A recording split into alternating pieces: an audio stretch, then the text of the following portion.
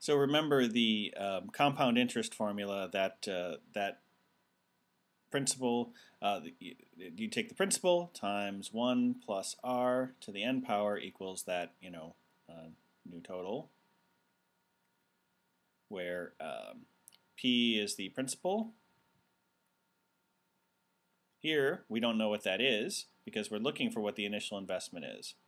Um, r equals the rate, and here, if it's 20% annual interest compounded sem semi-annually for two years, um, that's actually 10% interest in two um, semi-annual payments. So R here is going to equal 10. Um, and it's uh, the N here equals the number of accruals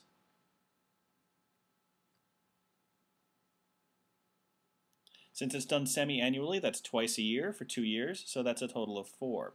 So um, the unknown principal times 1 plus 10% to the fourth power equals the new total, which we do have, 29,200. Um, so it's p times, um, so 10% expressed as a decimal is 0.1, so this is 1.1 to the fourth power equals 29,200.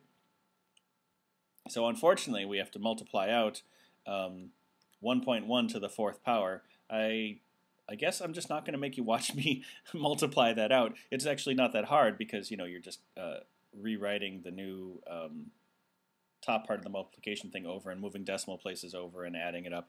Um, it's long but not hard.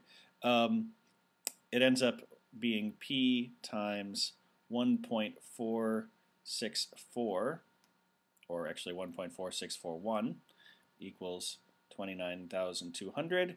And um, so we divide 29,200 by 1.46. That equals straight 20,000. Again, I'm not going to bore you with watching me do uh, arithmetic. In this case, uh, the initial investment was $20,000. Answer choice D.